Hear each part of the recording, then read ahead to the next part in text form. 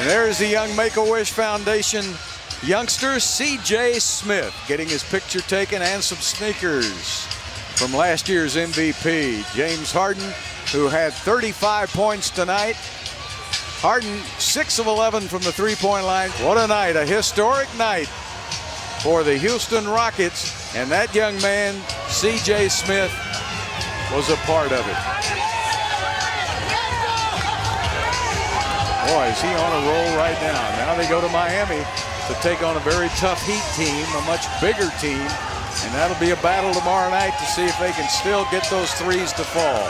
Hey, what a game tonight for CP3.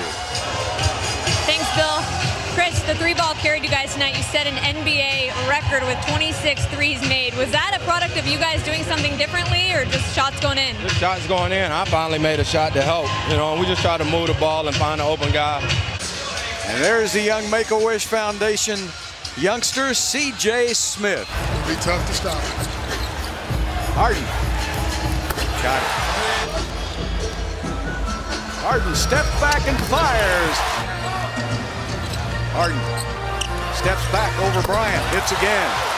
What do we say? Well, it's fun Bad. to watch. The offense is just so good. Look at that. Is anybody going to guard him? He's only the number one scorer in the NBA. Harden off tonight, but they forgot all about Chris Paul. I think he's reminding them that I can still score, fellas. Harden rips a three. Stay. Good point. But if you're good, you get on it. Oh, great break. Harden did a great job of seeing. He's in an open court with the basketball. Same for this guy. Step back. Yes.